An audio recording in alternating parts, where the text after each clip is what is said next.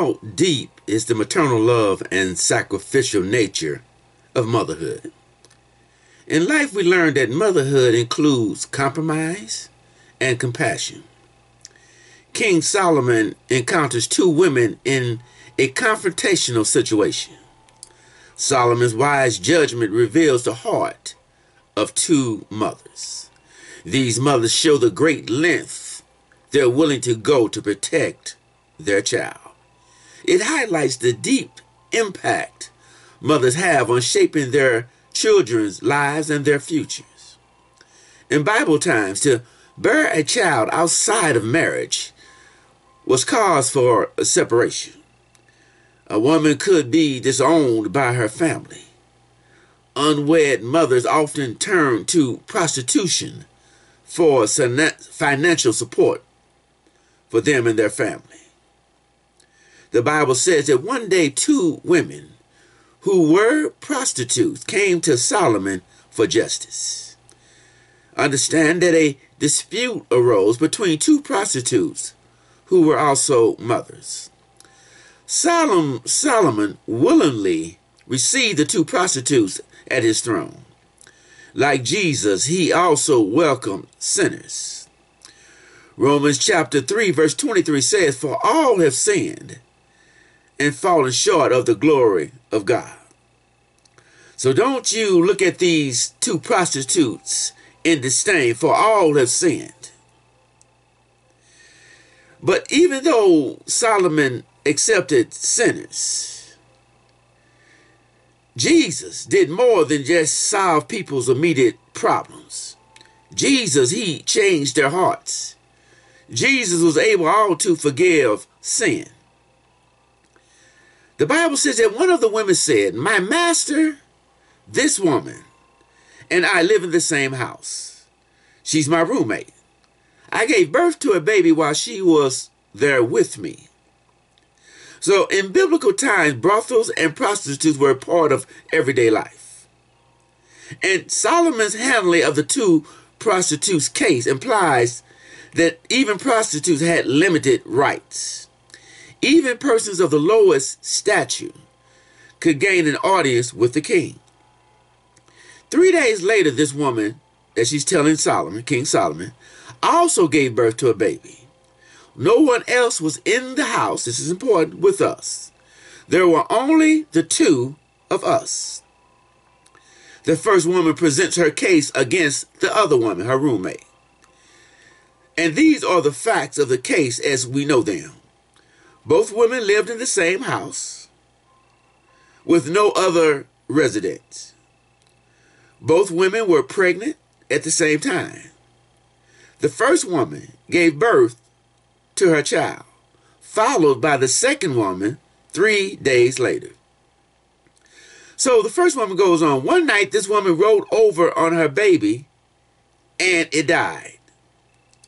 So the second mother who gave birth three days later after the first woman, killed her baby by mistake.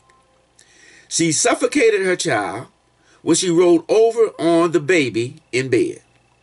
Now, there's a term called co sleeping or bed sharing, which is dangerous. Is when parents put a baby in their adult bed with them to sleep. And statistics say that over 3,000 infants die every year in the U.S. from sleep related deaths. So the first woman continues her story. So during the night, she took my son from my bed while I was asleep. She carried him to her bed. Then she put the dead baby in my bed. Now, this is when things start going, getting a little weird. As they say, the devil is in the, de the details. So first, we now know that they both gave birth to sons. Secondly, never underestimate the schemes or the wiles of the devil. What mother, after discover discovering the death of her baby, thinks this way? This disturbed thinking is out of the Twilight Zone or the Outer Limits. Some of us may be old enough to remember those TV shows. So this woman plans and executes an elaborate deception by the next morning. We never know whether she ever grieved for her loss of her child or whether she had any regrets for her actions against the first woman. We do know without divine intervention, she would have lived her whole life owning this lie, living this lie. So the next morning, again, the first woman is speaking to King Solomon. The next morning, I got up to feed my baby, but I saw that he was dead. Then I looked at him more closely. I saw that he was not even my son. Imagine the first mother's thinking. While putting this twisted puzzle together in her head, there's a dead baby in her bed, but it's not hers. But at the same time, now I've seen another baby in my roommate's bed. So my mind thought is, whose child is that? I remind you that nobody is in the house, in the room, but her and her roommate. Next, she's probably asking, is her roommate pretending even to be asleep? Because some, something is going on. I can, in my mind's eye, I can see her staring a hole right through her roommate. Imagine the first mother standing over her roommate. She's trying to confirm the other child's identity. Now, it's been biologically proven that a mother knows her child. There's a term in the field of zoology called imprinting. It's when a newborn animal comes to recognize a parental figure. It is based on the first thing they see after birth. It's built in their DNA. And that first thing can be another animal, uh, meaning that uh, the first thing that a cat may see could be, can be a dog, or vice versa. It can be a person or even a thing. But remember, the DNA is set up that the first thing they see is a parental figure. Likewise, a mother and baby are bonding while the baby is in the mother's womb. The imprinting process starts after birth, and, and the mother first looks at her child. Mothers know their child not only by looks, but also by actions. Mothers even know the difference between their identical twins. But the other woman, who is the roommate, said, No, the living baby is my son. The dead baby is yours. But the first woman said, No, the dead baby is yours, and the living one is mine. So the two women argued before the king. Now, there were no witnesses to the incident. Under normal conditions, when there was witnesses, priests and judges would handle this case. But with no witnesses, the law required them to go to King Solomon. The king was considered to be the highest court of appeal. We have to we have to realize today a case like this would never reach the courts because we have special tools for this type of altercation. You might be familiar with, with some of them. Smith & Wesson, Remington, Glock, and AK-47. This situation probably would have been handled long before it got to the court. But the Bible says, Then King Solomon said, Each of you says the living baby is your own. And each of you says the dead baby belongs to the other woman. Remember, Solomon didn't have the help of a DNA test. Most judges would be confused by the women's conflicting claims. But with his God given insight into human nature, Solomon knew what to do.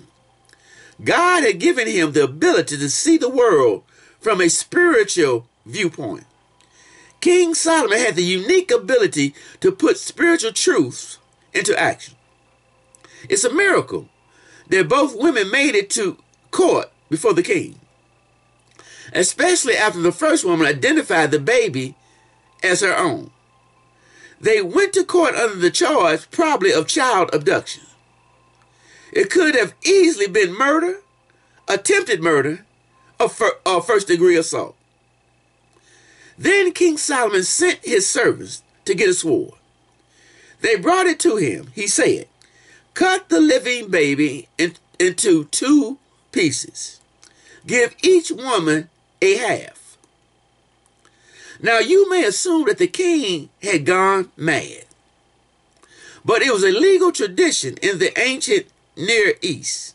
If a judge couldn't verify who owned a, a disputed piece of property, it would divide it evenly between the two contestants.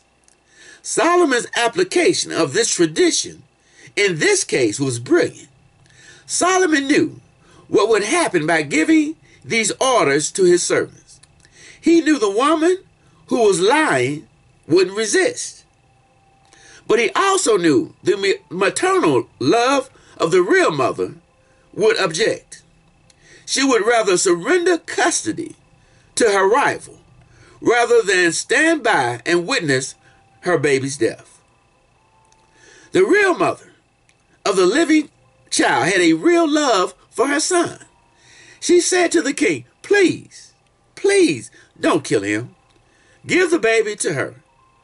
But the other woman said, Again, now this is the other woman, the roommate, who claimed that it was her baby. Listen to her words. Neither of us will have him. Cut him into two pieces. So the mother in this story was willing to give her child, the real mother, to give her child to another in order for her beloved child to live. Today, an unwed mother who can't support her child may do the same. This is a this is a choice if they can't support them financially or emotionally. They may choose to make their child available for adoption.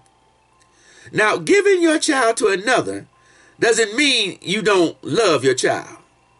It may be the greatest act of love a person can show toward their child. But an unwed mother can always trust God to bless her child. The circumstances behind a child's birth doesn't limit the child's capabilities. And it doesn't limit that child's potential in God's eyes. Then King Solomon said, after hearing the first woman, give the baby to the first woman. Don't kill him. She is the real mother. And to encourage your spirits on this, let's go to the scripture, Isaiah chapter 49, verse 15, and it reads, The Lord answers, Can a woman forget the baby she nurses? Can she feel no kindness for the child she gave birth to? Even if she could forget her children, I, talking about God, I will not forget you. So God loves you more than any mother has ever loved her own son or daughter. Everything he does in your life, he does it out of love. God allows even the hard times that we go through to benefit us. So, as we conclude, did Jesus show his love for us by his sacrifice on the cross? He who had no sins died for the sins of the world. And if you enjoy Christian content, please subscribe to our channel. God bless you and God keep you is our prayer. Goodbye.